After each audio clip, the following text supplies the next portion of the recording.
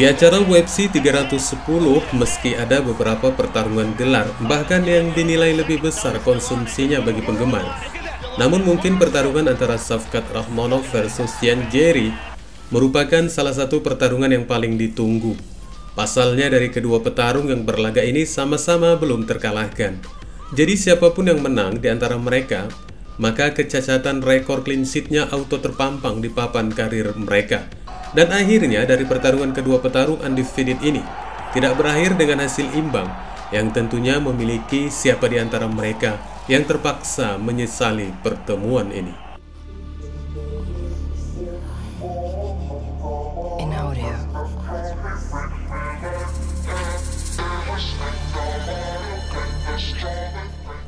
UFC 310 yang digelar hari ini menurut waktu Indonesia dan dilangsungkan di T-Mobile Arena. Pesaing teratas divisi kelas welter yang sebelumnya telah direncanakan akan berhadapan dengan sang juara Belal Muhammad, Safkat Rahmonov. Akhirnya sukses mempertahankan rekor undefeated-nya dari 19 pertarungan MMA-nya dengan 7 kemenangannya di promosi Dana White. Hanya saja rekor pencapaian sempurnanya tercoreng dari kemenangan keputusan bulatnya 48-47 dikali 3 atas penantang lainnya yang Jerry yang juga sekaligus tercoreng dari rekor tak terkalahkannya. Bagi Yan Jerry di pertarungan yang ke-16 ini, hanya berbuah pahit yang alhasil menambah catatan buruk di papan rekornya dengan satu-satunya kekalahan dari Rahmonov. So this was a fight. Shot on the fight. You will the your. I'm excited for it, man. The crowd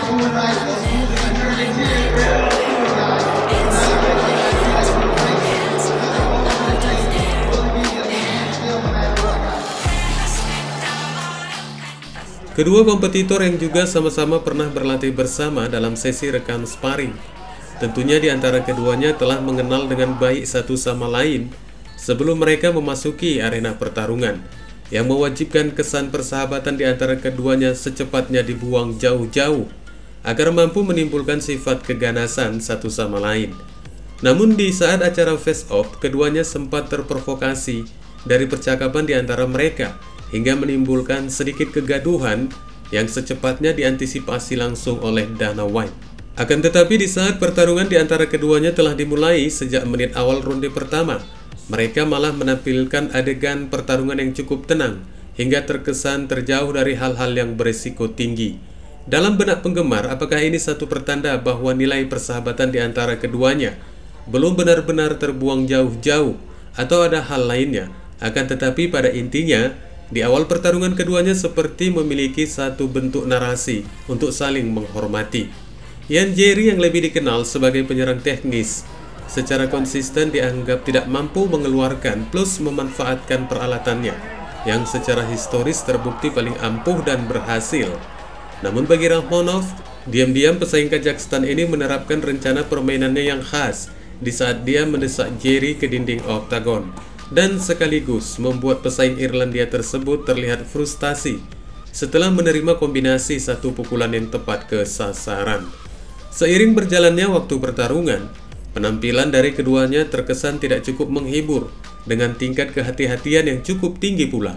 Meski demikian, tekad untuk saling mengalahkan masih terpatri di rencana mereka. Hingga terkadang situasi yang sedikit mencekam terpampang dari pertarungan ini. Jerry meraih kesuksesan terbesar dari pertarungan ini terpantau di saat ronde ketiga berjalan. Setelah lepas dari cengkeraman Rahmanov, Pesaing 27 tahun tersebut sempat mendaratkan beberapa serangan sebelum ronde miliknya ini berakhir.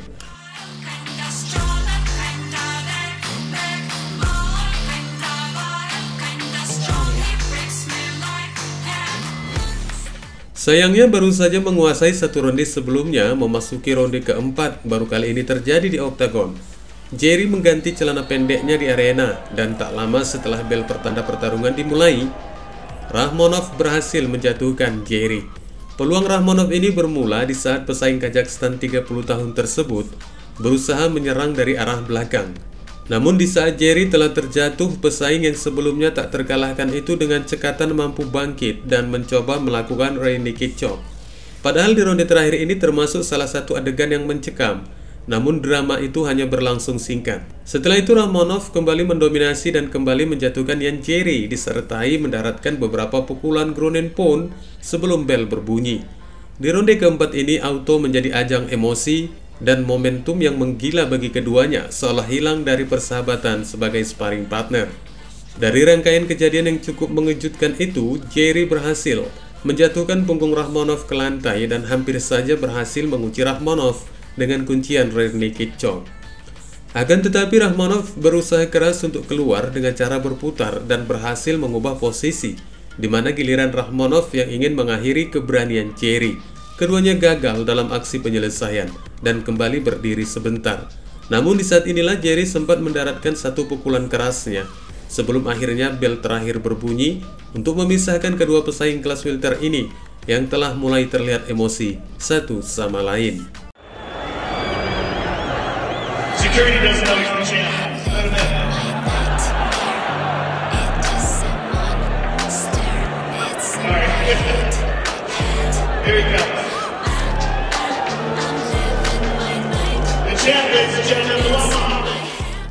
Dari kemenangannya ini Rahmonov dipastikan hanya tinggal menanti persiapan dari Belal Muhammad untuk pertarungan gelar yang berikutnya di kelas welter yang dikabarkan akan dilaksanakan di pertengahan tahun depan.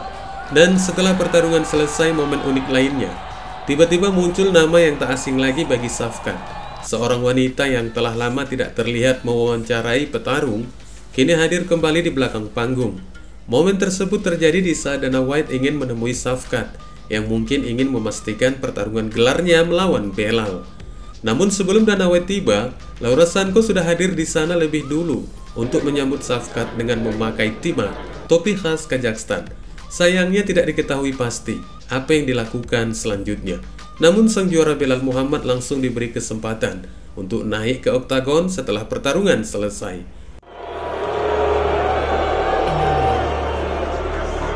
So,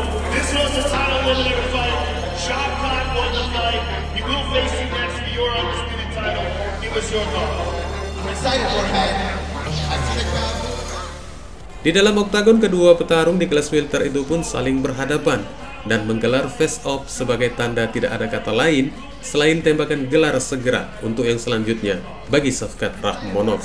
Wassalamualaikum warahmatullahi wabarakatuh.